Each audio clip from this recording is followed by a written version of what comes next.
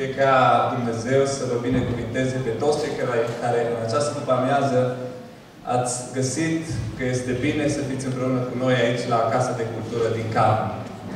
Este un moment deosebit, este un timp în care încă inima lui Dumnezeu își face simțită vibrația de dragoste spre noi și încă Isus Hristos cu brațele întinse mai cheamă oameni la mântuire. Slăvit să fie El de toate astea. Amin. Ne bucurăm să fim aici împreună oameni atât de diferiți din multe puncte de vedere, dar care totuși suntem uniți de dorința de a ne apropia de Dumnezeu.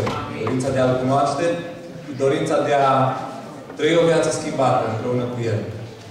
În această seară nu știu fiecare dintre dumneavoastră cu ce gând ați venit în locul acesta, dar știm că, dincolo de dorința și răspunsul pozitiv al fiecăruia dintre noi este Harul lui Dumnezeu, care în suveranitatea Lui știe să ne adune împreună și știe să ne aducă exact în locul în care s-a auzit cel mai clar vocea Lui.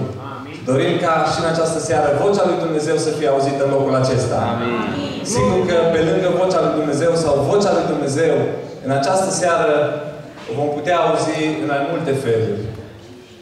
O vom putea auzi prin mesajul cântărilor grupului Speranța, pe care îi salutăm și le spunem bun venit împreună cu noi în seara aceasta și aș vrea să le dăm, oferim un călduros bun venit la capnic, așa cum știm noi și haideți să-i aplaudăm.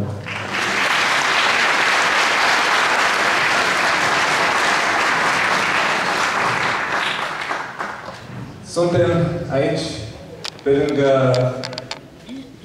grupul Speranța. Avem împreună cu noi pe fratele păstor Gabriel Zărgan, care în această seară m-a vestit Cuvântul lui Dumnezeu și ne rugăm ca El să fie mai mult decât vocea unui om.